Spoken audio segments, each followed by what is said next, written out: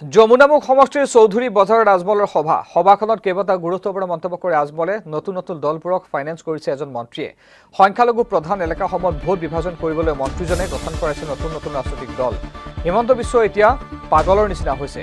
এইবাৰ মহাজোঁটৰ চৰকাৰ হোৱাটো নিশ্চিত। হিমন্ত বিশ্ব শৰ্মাক কঠোৰ সমালোচনা কৰে আজমলে এজ আৰু ৰাইজৰ দলকো ইটিকিং কৰি মন্তব্য কৰে আজমলে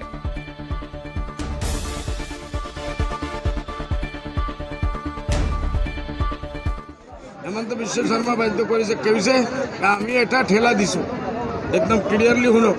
এটা ঠেলা মতলব শিলচাৰত সি যে ঘটনা হৈছে সি কৰাইছে। এইটো ক্লিয়াৰ হৈ না এতিয়া?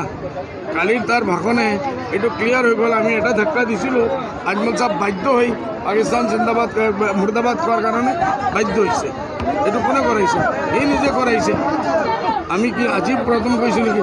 ইয়াৰ আগে আমি বহুত কৈছোঁ। বুজি পাইছে নেকি? সেইটোৰ কাৰণে সি নিজেই কৰাই আছে সি নিজেই মাৰি আছে সি নিজে আজি পাগল, পাগলৰ নিচিনা হৈছে।